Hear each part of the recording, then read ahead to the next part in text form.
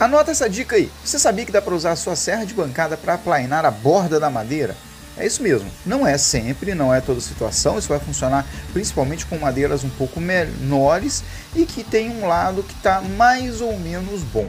O que, que você precisa fazer? Escolha o lado que tiver um pouco melhor, coloca ele para dentro do batente e tira uma fita fina do outro lado. Depois basta você inverter esse, esse lado da madeira e fatiar a madeira da forma que você precisa. Mas olha só, anota bem essa aí. Isso não pode se a madeira estiver muito torta, muito empenada. Isso é apenas para pequenas diferenças, pequenas irregularidades, tá bom? Então fica aí uma dica para você para agilizar o seu processo de trabalho.